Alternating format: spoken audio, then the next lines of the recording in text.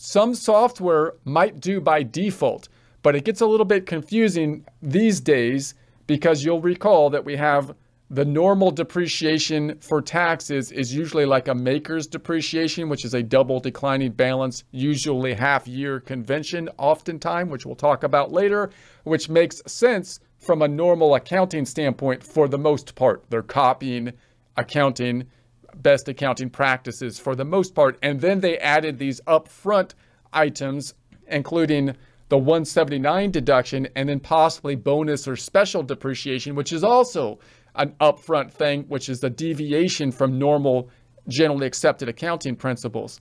So now that you have these multiple things that could allow you to depreciate it upfront, then you come up with the question of should I take the 179 deduction or a special or bonus depreciation upfront? And that gets a little bit confusing. So it's possible that you you pick a combination that's not not optimized uh, some software might default, for example, to take either the 179 deduction or the special unless you tell it not to. And so then, and that'll be the default situation.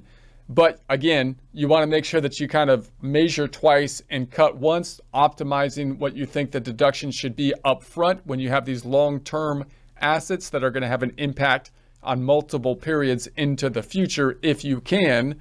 And then if there's a problem with it, then of course you might be able to amend the return, but you would have to do that within the time frame allowed in order to amend the return. So uh, the amended return must be filed within the time prescribed by law. The amended return must also include any resulting adjustments to taxable income. Once made, the revocation is irrevocable.